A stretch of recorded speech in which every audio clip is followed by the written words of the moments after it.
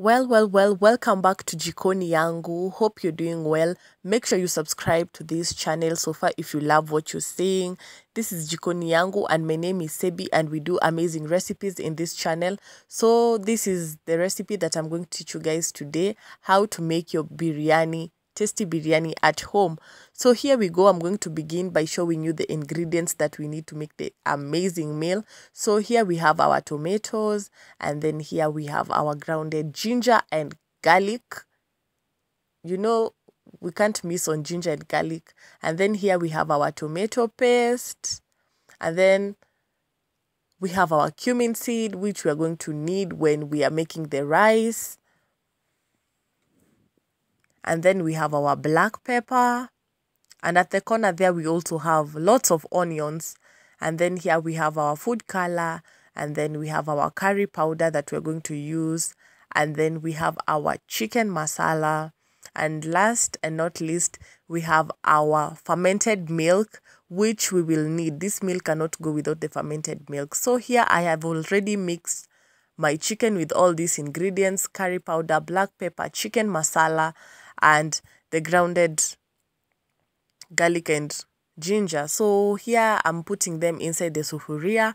I will since i'm not going to wait for like two hours three hours for it to marinate i'm going to add in water and then boil it for like 15 minutes or so. Since the chicken is broiler chicken it's really soft doesn't need a lot of time to boil.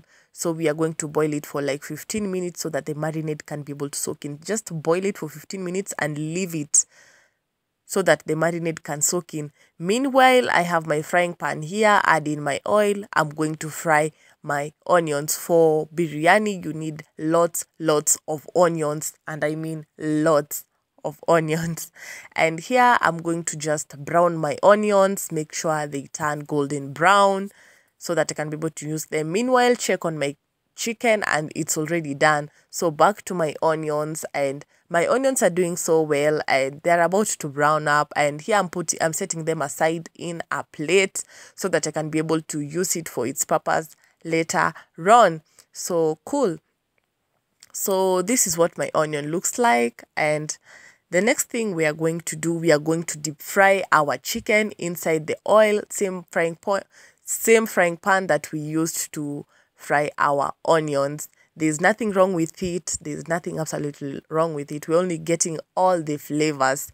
So make sure your chicken is golden brown like this and then set them aside also and yeah i can i'm already loving the aroma that is coming out of this yo guys i can't wait to have a taste of this meal next thing i have my sufuria here i used the oil that i used to brown my onions and deep fry my chicken so there is no harm. Those particles are from that oil. So here we go in with our browned onions already and mix them all together. We are going to go in with our chicken masala and then we're also going to go in with our curry powder. Inside the same sufuria mix it all up for the flavors. Come in with our black pepper and also go inside with them and then mix them up so that you can get all the good flavor yeah guys we want the chicken to come out so tasty and very yummy. Also remember that while we boiled our chicken we boiled our chicken with little salt. So here you'll only go with little salt so that it can taste.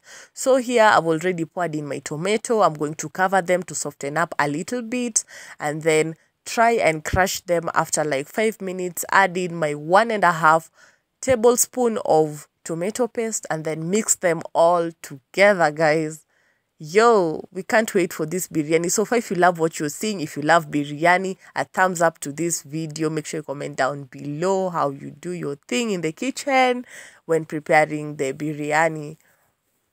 Support your girl. Make sure you also hit the red button and subscribe if you've come this far with me. So here is the salt that I'm adding, just a little bit of it so that it can taste Remember, we already boiled our chicken with salt. So keep that in mind as you put in your salt inside this stew that you want to make. The next thing we're going to go in with our browned chicken.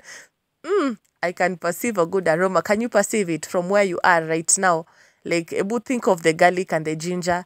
Yes. So here's the stock I was talking about that we set aside, the water that we used to boil the chicken. Don't let it all finish. Just sieve a little bit and set aside for this time.